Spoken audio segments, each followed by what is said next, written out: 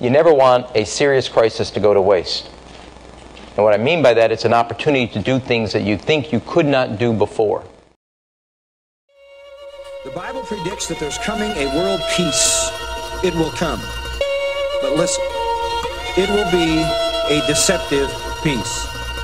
It will be the most subtle and the most deceptive trap that's ever been set because it'll catch the world in it. And they'll be caught and they'll be destroyed. There's a lot of propaganda, nonsense in a sick sort of way, practically implanted all over the planet. We're seeing signs of the plans they've enacted, the ones they've infected, media connections, implanted messages with music, movies, a hit from all directions. Black evil masses is what they practice in the fast lane, selling the souls that bring it down.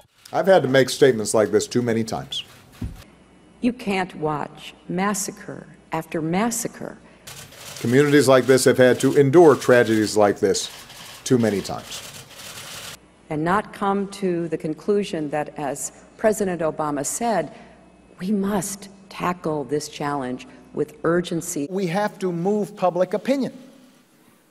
We have to feel a sense of urgency. We have to use this most recent tragedy. should call all of us to action. This is a national tragedy. It's a national disaster. So let's just cut to the chase. It's guns. It's also about guns. Guns, guns, guns. How many people do we need to see cut down How many senseless acts of violence do we have to endure as a people from little children to church members before we stand up, We need the American people to rise up. before we act? How many more Americans have to die? At some point, as a country, we have to reckon with what happens. It is not good enough simply to show sympathy.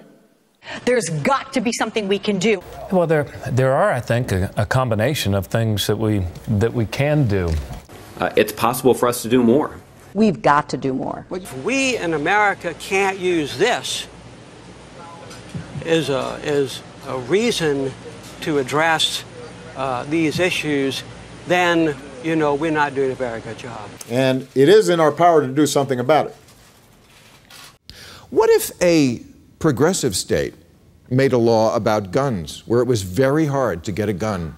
Basically, the only way to guarantee that we would dramatically reduce uh, acts of violence involving guns is to basically remove guns from society. And until somebody uh, gets enough oomph to repeal the Second Amendment, that's not going to happen. Can't you see it? Truth movement take over in full effect. Open your eyes to these lies and clean up the mess. How can we know what's fact from the fiction? Hard in a world full of disinformation. Wolves in sheep's clothing, imitations. How will you know without a foundation? How can we know?